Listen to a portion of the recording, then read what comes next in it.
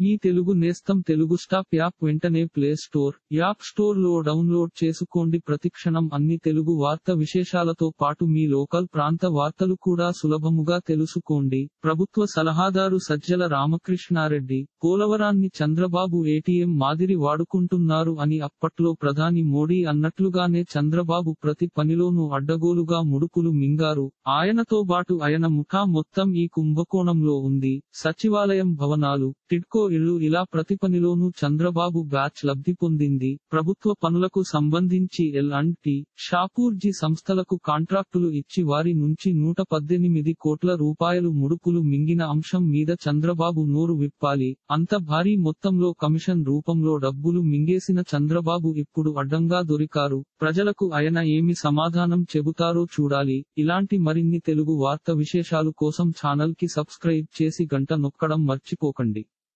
ఈ వీడియోని తోటి మిత్రులకి షేర్ చేయండి. మీ అభిప్రాయాన్ని కామెంట్లో తెలపండి.